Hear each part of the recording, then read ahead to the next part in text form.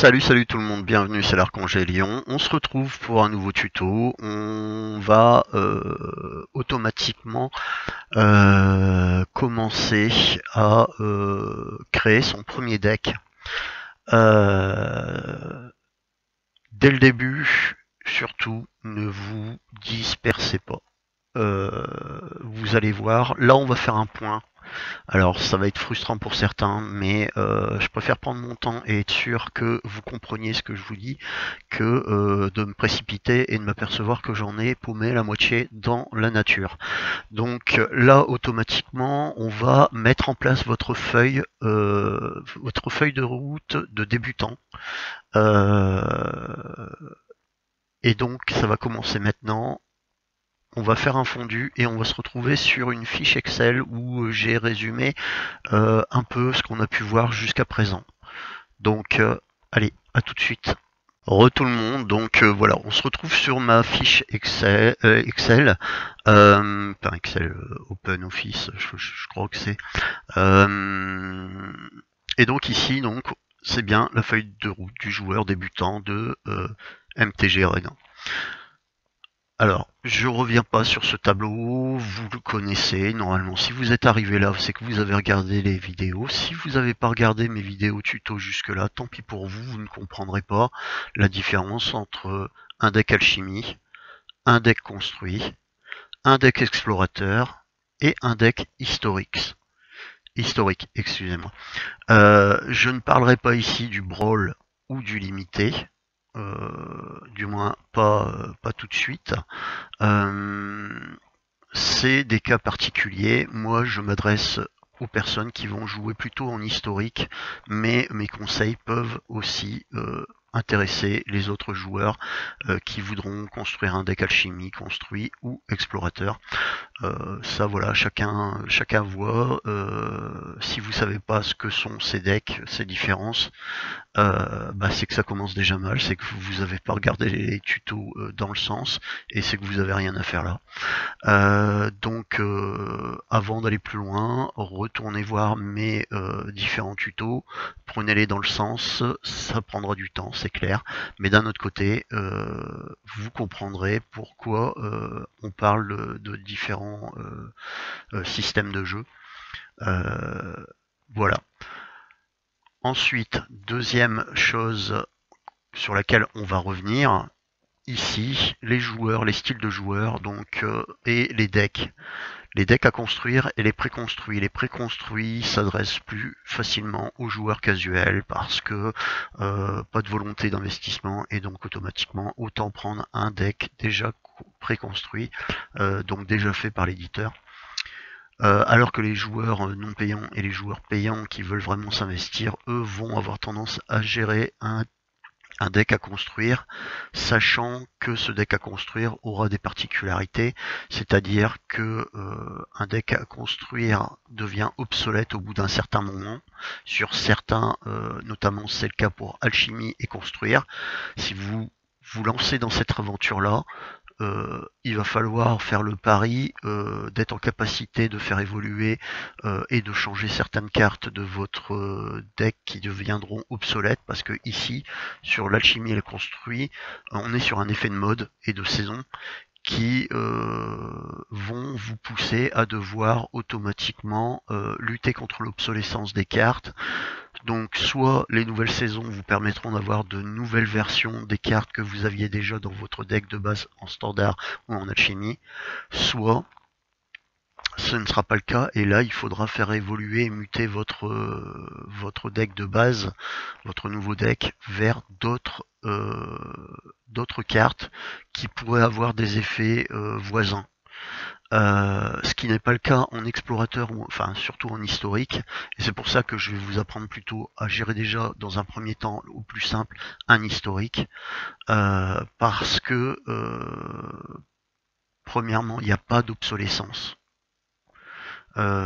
et vous avez accès à tout, à toutes les cartes.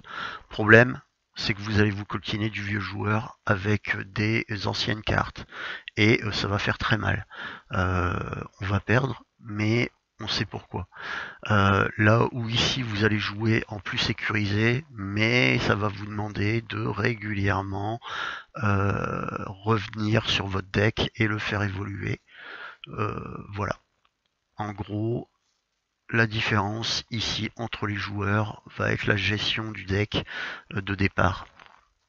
En parlant de deck de départ, si vous avez suivi mes épisodes, ah oui d'ailleurs, si euh, vous voulez avoir un raccourci sur les épisodes concernés, ici au niveau des styles de jeu, vous allez sur l'épisode 8 et 9 que j'ai fait du tuto, donc les épisodes qui sont juste avant celui-ci.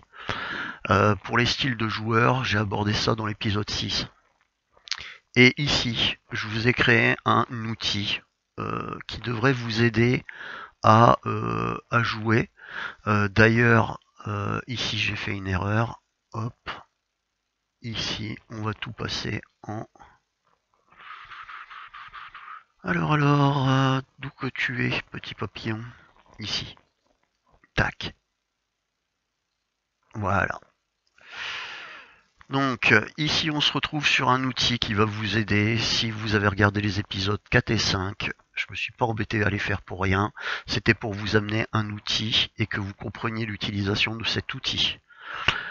Donc euh, cet outil euh, va vous aider à concevoir la partie sort de votre deck de base, de votre deck de début. On a bien ici les besoins d'un deck, donc pour une partie, avec la dimension temporelle déclinée dans les différents rounds que vous aurez à, aborder, et la dimension spatiale du deck, le board, donc pas le room, mais le board, cette fois-ci, avec la nécessité d'avoir des créatures au sol, des créatures au vol. Alors, les créatures au sol, euh, si vous voulez, hein, parce que si vous avez que des créatures euh, en vol, euh, c'est vous que ça regarde. Mais si vous avez que des créatures au sol, par contre, ça va, ça va vous poser un problème. Parce que vous ne pourrez pas intercepter les créatures en vol. Alors que les créatures en vol peuvent avoir les créatures au sol et les créatures en vol. Euh, les sorts de soutien, c'est-à-dire tous sorts qui vont venir booster vos créatures, défendre vos créatures ou euh, leur amener certains avantages du moins. Et les sorts que j'appelle les sorts de ruine, euh, qui eux sont les sorts qui vont attaquer votre adversaire et qui vont essayer de ralentir sa progression. Ça peut être des sorts pour euh, taper sa mana base, c'est-à-dire ses manas. Ça peut être des sorts pour taper ses créatures, pour taper ses sorts, des contre-sorts d'ailleurs. Euh, voilà, c'est vraiment tout ce qui peut amener à embêter votre adversaire.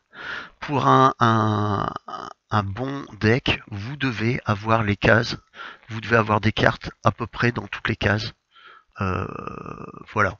Alors il se peut que des fois vous aurez euh, des créatures de vol plutôt que des créatures de. Mais le tout c'est que vous ayez des différentes alternatives round après round qui vont vous amener à la victoire. Voilà. En gros, je vais pas plus loin, mais euh, voilà, je me suis quand même décarcassé pour vous. Euh, alors, vous n'êtes pas obligé de le faire sur un Excel, hein, si vous voulez le faire euh, sur du papier, vous faites en version papier, mais il va, vous, il va vous en falloir du papier, je vous le dis. Parce qu'en plus, vous allez faire des ratures et tout le reste, il y a des cartes que vous allez enlever, que vous allez remettre, enfin voilà, ça va être en format Excel, c'est quand même déjà beaucoup plus intéressant. La mana base, pour l'instant, je n'en ai pas parlé et je n'en parlerai pas tant qu'on n'aura pas fait notre premier, euh, deck débutant ensemble. Euh, pourquoi j'ai rosé? Pour l'instant, le premier deck, on est en mono. On va aller sur du mono, donc mono, euh, vous verrez, il y a différentes écoles de magie. Le bicolore, le tricolore, le quadricolore et le rainbow, non, je vous en parle pas.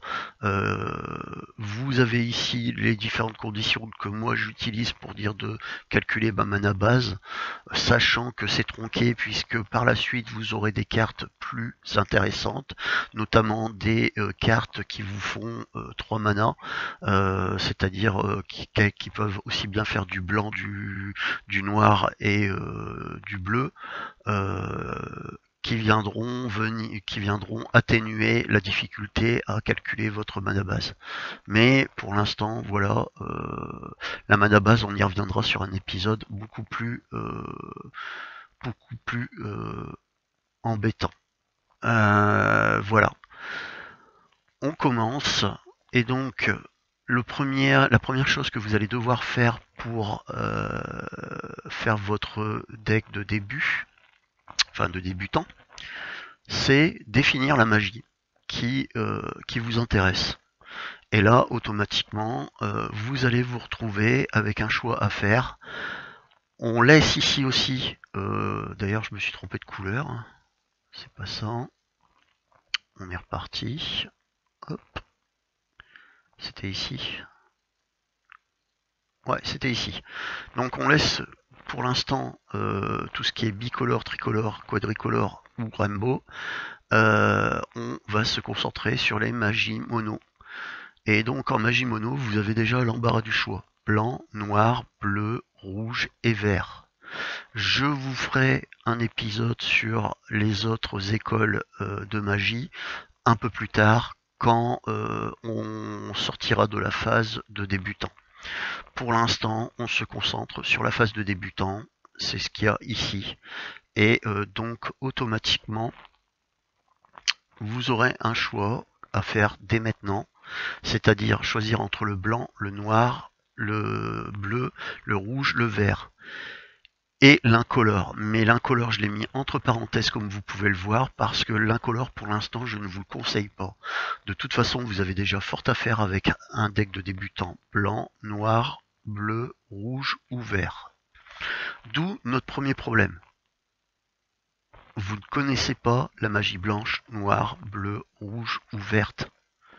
Donc, à l'heure où on se parle, là, maintenant, j'estime que vous n'êtes pas en, capacité de pouvoir faire votre choix. Si je me remets dans euh, la peau d'un joueur débutant euh, de Magic, quand je suis arrivé, euh, magie blanche, magie noire, magie bleue, magie rouge et magie verte, c'est quoi? Qu'est-ce que c'est les différences? Euh, pourquoi ils ont, ils ont des couleurs différentes? Euh, Est-ce qu'il euh, y a un courant de magie qui est plus forte que l'autre? C'est tout ça qu'il va falloir découvrir.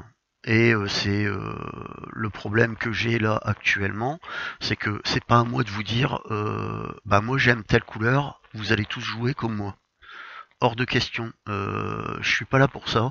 Je suis là pour essayer de vous donner des, des outils et euh, des idées de réflexion et euh, de vous accompagner dans ce qui va être pour vous euh, le votre deck de débutant et celui-là qui sera le plus le plus en adéquation avec vos goûts propres, pas avec les miens, avec les vôtres.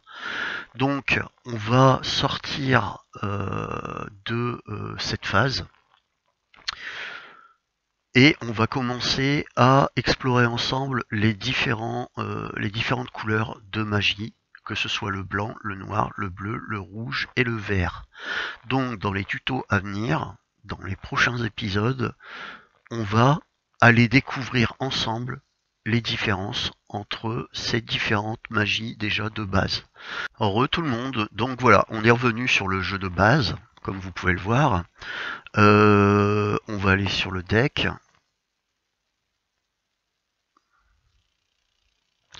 Donc ça, ce sont mes decks à moi, mais on va repartir sur un deck débutant.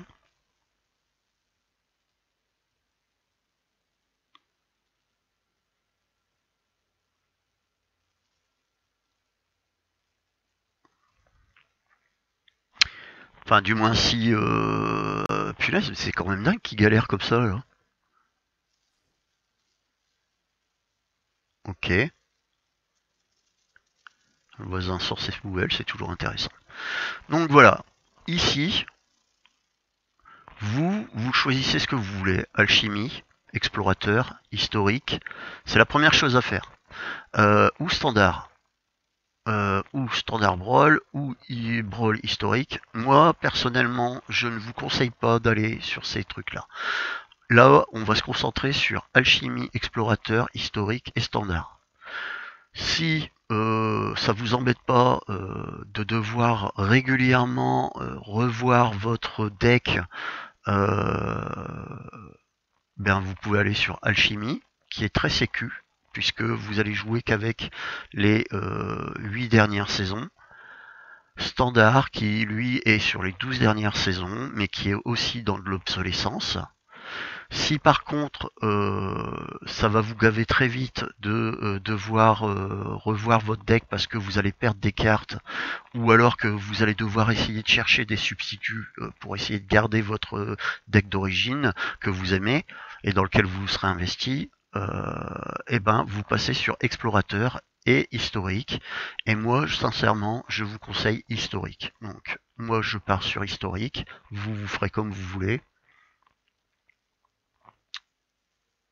Il a du mal. Hein. Bah alors, mon pépère ah, C'est quand même marrant, ça. J'ai peut-être trop d'applications ouvertes en même temps parce que comme j'enregistre... Ah oui, puis j'enregistre. Euh, donc voilà, je suis sur mon premier deck. Pour l'instant, euh, donc, hop, ce sera le deck tuto. Donc, tuto tac, tac, tac. Pour l'instant derrière, je ne mets pas de couleur ou quoi que ce soit parce que euh, va falloir qu'on euh, découvre ensemble euh, les différentes magies. Et ça, ce sera sur la suite. Donc là, on a un deck tuto. Pour l'instant, il y a une, une image. Ah oui, l'image, je vous ai pas expliqué, mais cette image, vous pouvez la changer. Quand vous aurez des cartes, vous sélectionnez une carte, vous l'amenez dessus et vous la lâchez donc vous la saisissez ici, vous l'amenez dessus, vous la lâchez, et en fait l'image de la carte sélectionnée, euh, je vais vous montrer. Par exemple, voilà, le choriste. Ah, zut, en appuyant dessus, ça va pas le faire. Je veux cette image-là. Hop, vous voyez, je l'ai je l'ai saisi avec le clic euh, euh, gauche. Je lâche, et hop, vous voyez, c'est devenu. Et si je veux, tout compte fait, je préfère cette image-là. Hop, je prends, je mets, et voilà, vous l'avez. Bon, on a commencé notre tuto. Euh, pour l'instant, quelle créature euh, Ben le problème, c'est que les créatures vont dépendre de la magie que vous allez choisir. Si vous êtes en blanc, si vous êtes en bleu, c'est d'autres. Il y a d'autres créatures. Si vous êtes en noir, il y a encore. Euh, excusez-moi. Hop. pourquoi il y a du bleu là? Ah oui, non, je ne l'ai pas désélectionné. Ça pouvait pas marcher. Donc ici vous avez les créatures noires qui commencent. Hein. Euh, j'ai compris hein, pourquoi, euh, pourquoi il y a quand même des, des cartes blanches ou noires euh, avant ou avant le bleu par exemple. Parce que là je veux des cartes bleues, mais il me met quand même les cartes bleues euh, celles qui peuvent avoir du bleu ou du noir. Là, par exemple, je suis en noir. Vous voyez, c'est une carte blanche, mais c'est une carte blanche qui peut être kickée en noir. Et là, euh, là, il doit certainement avoir une raison aussi. Peut-être qu'elle joue contre le noir, un truc comme ça. Contact mortel. Transformation. Vous voyez, elle, elle peut être kickée en noir. Euh, elle peut se transformer en noir, en carte noire. Euh, ici, elle peut se transformer en carte noire. Et ici, pareil, elle peut aussi se transformer en carte noire. Donc, euh, en gros, voilà pourquoi ils les mettent quand même, même si vous avez demandé du noir seulement. Donc, vous passez sur la deuxième et vous aurez accès à vos cartes noires. Ici, pareil, vous avez des créatures pour le rouge. Vous voyez, c'est ici. Et vous voyez, ça peut être kické, euh, vous avez une carte noire, mais qui peut être kické en rouge. Mais ça, c'est pour des sorts plutôt bicolores. Donc, en gros, ici, on a dit, on commence en mono. Là, le vert. Hop. Le vert, le voici. Donc en gros, vous voyez, il y a des cartes pour chaque courant de, euh, de magie. Alors vous allez me dire, ben euh, ouais, ok, mais euh, c'est quoi la différence? C'est lequel le meilleur? Alors, il n'y a pas de meilleur, il n'y a pas de différence euh, dans le sens où chacun a des avantages et des inconvénients. C'est des styles de jeu totalement différents. Si vous avez regardé mes tutos, j'ai déjà commencé à aborder un peu les philosophies des différentes magies, mais on va aller un peu plus en profondeur dès les prochains euh, dès les prochains épisodes, on va les découvrir ces différents courants de magie. Pour ça, il y a euh, un euh, comment on appelle ça, un outil qui est hyper intéressant en début de jeu et qui vous permettra de définir quelle affinité vous avez avec quel type de magie.